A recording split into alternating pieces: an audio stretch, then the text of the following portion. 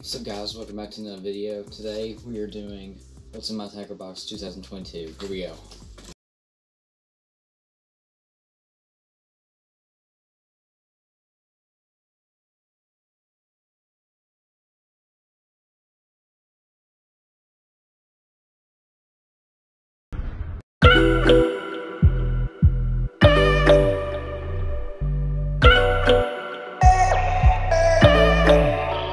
First one I got, the Contender.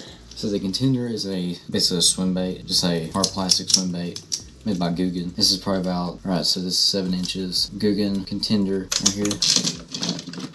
So the next one is, it's called the Klutch.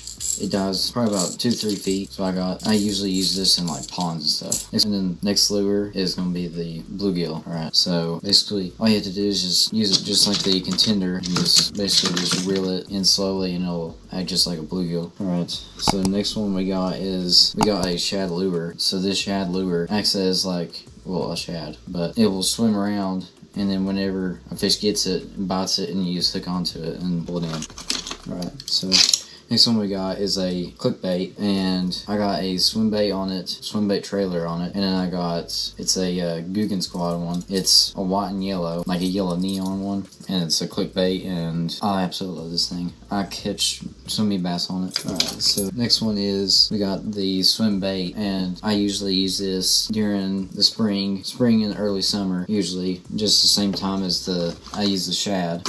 Basically, it works it works the same as I as a shad. Next one I got here is a spinner bait. This spinner bait has got a Googan Squad trailer. This one you can, the spinner bait you can just find at Walmart. It's real cheap. Right about, I got it for like $6. Next one we got is a 6th Sense crankbait. It dives about 3 to 5 feet. I like this whenever I'm using it during like a, like in the summertime, like a lake. But like, if I'm using it in a pond, I wouldn't use that. I would use a square bill.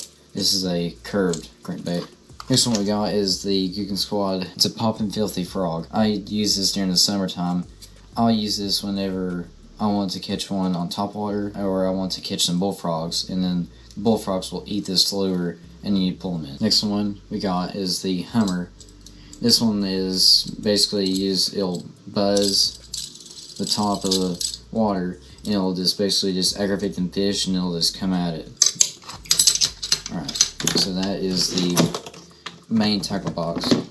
This is a new segment to my channel. It's called Verse of the Day, and the verse of the day is 1 Peter 5, um, verse 6. Therefore, humble yourselves under the mighty hand of God, that he may exalt you in due time. That's 1 Peter 5, 6, and that is the end of the verse of the day. That is it for all my stuff and that is what's in my tackle box 2022 and hope you all like this video